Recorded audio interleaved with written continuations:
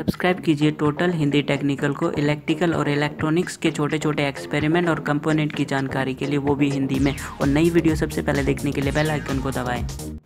दोस्तों, नमस्कार। दोस्तों, इस वीडियो में हमारा मेन उद्देश्य है वोल्टेज को कम करना।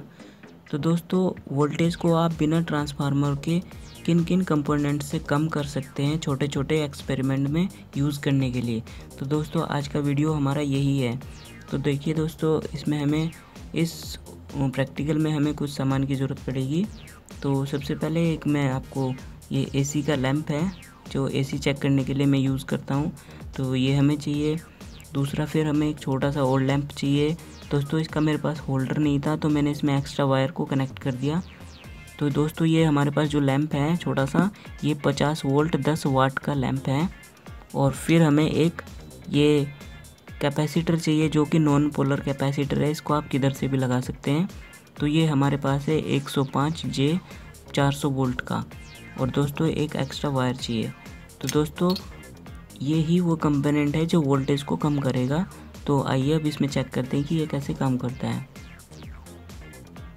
दोस्तों, उससे पहले मैं बताना चाहूँगा कि एसी हमारे यहाँ कितना आ रहा है। ये मेन बोर्ड से मैंने कनेक्ट किया हुआ है तो यहाँ पे एसी सप्लाई है। तो आइए अभी इसे मल्टीमीटर से चेक कर लेते हैं कि कितनी हमारे यहाँ वोल्टेज आ रहा है। ये मैंने 750 वोल्ट पे कनेक्ट कर दिया। अब देखिए।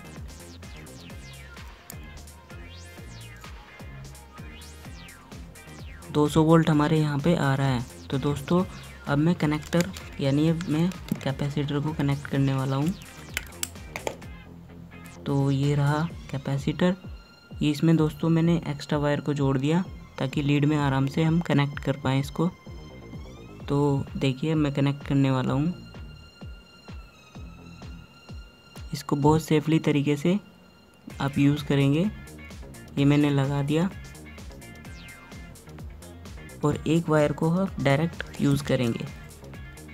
तो दोस्तों, जैसा कि आपने देखा 200 वोल्ट यहाँ पे आ रहा था। अब देखते हैं कैपेसिटर कितनी वोल्ट बाद में निकालता है। तो पहले आप एक पिन यहाँ पर लगाइए।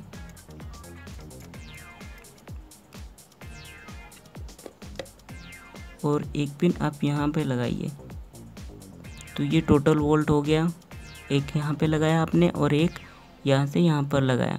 तो ये टोटल वोल्ट है। अब कैपेसिटर के बाद जो निकलेगा, वो वोल्ट देखते हैं हम। ये देखिए आपने, ये घटता जा रहा है, घटता जा रहा है।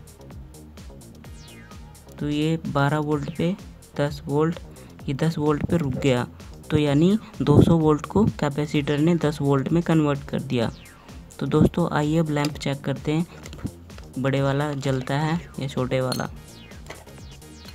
दोस्तों, ये हमारे पास बड़ा लैंप है तो इसे मेन एसी से हम पहले जलाएँगे।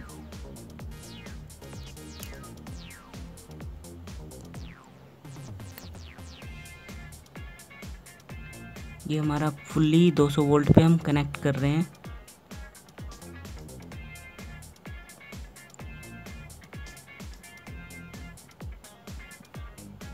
ये देखिए, यहाँ पे लैंप जल रहा है।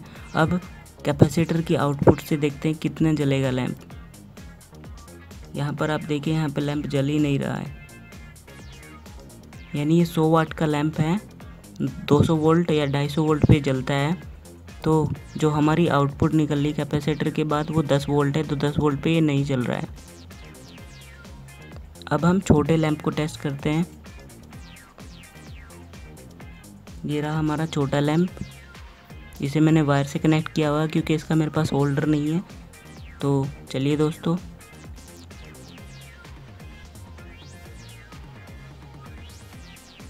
इसका भी सेम तरीका रहेगा।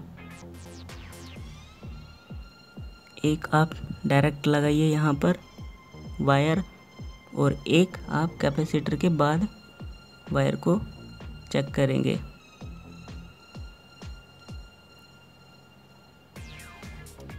ये देखिए दोस्तों, कितना कम जला है ये लैंप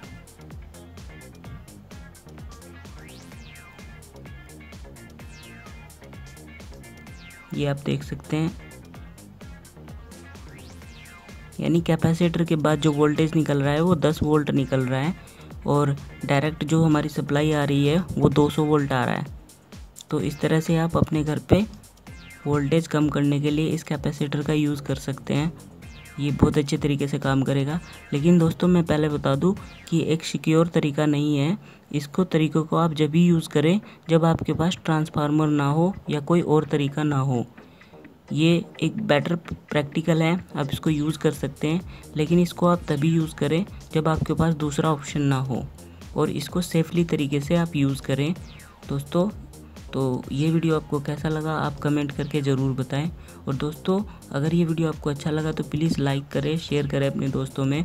और दोस्तों, अगर चैनल अभी तक सब्सक्राइब नहीं किया आपने तो प्लीज़ चैनल को भी सब्सक्राइब कर लीजिए, क्योंकि इसी तरह की सारी वीडियोज़ मेरी हिंदी में आती है। तो दोस्तों, आपको वीडियो अच्छा लगा तो प्लीज़ लाइक करें और शेयर करें। तो दोस्तों, नमस्कार, मिलते हैं अगली वीडियो में। तब तक के लिए बहुत बहुत धन्यवाद।